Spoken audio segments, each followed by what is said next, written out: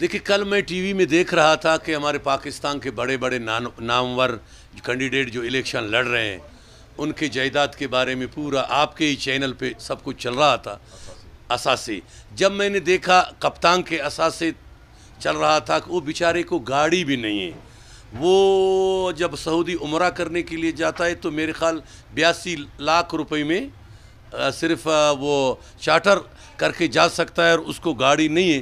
تو مجھے ترس آیا، میرے والد صاحب کا پرانا اٹھتر ماڈل گاڑی پتھروں پہ کھڑا ہے، اس کے ٹائر نہیں ہے تو میں بولتا ہوں کہ الیکشن کے لیے بحیثیت بلوچستانی بلوچستان پاسماندہ صوبہ ہے میں الیکشن کے لیے خان صاحب کو دینے کے لیے تیار ہوں۔ اگر ٹائر کا پیسہ اس کے ساتھ ہے تو ٹھیک ہے نہیں ہے ورنہ ہم بلوچستان کے لوگوں چندہ کریں اس کو ٹائر ڈال کے عمران خان کو دیں گے۔ الیکشن کے بعد پھر ہمارا واپس کریں۔ کیونکہ اس کے پاس گاڑی ہی نہیں ہے تو میں اٹھتر ماڈل کھڑا ہے پرانا اس کا مبلن مبلن چینج کر کے میں اس کو گفٹ کرنا چاہتا ہوں۔ یہ آپ کیسے کہہ سکتے ہیں ان کے پاس گاڑی نہیں ہے؟ اس نے جو اپنے اثاثے میں ظاہر کیا تھا کہ میرے پاس گاڑی نہیں ہے تو ظاہر ہے پھر ہم نے بولا جب مسکین کے ساتھ ہمارا پاکستان کا کپتان رہا ہے، کرکٹ کھیلا ہے، تو ظاہر ہے ہم کو اس کو والد صاحب کا پرانا اٹھہتر ماڈل کھڑا ہے، وہ میں اس کو دینا چاہتا ہوں۔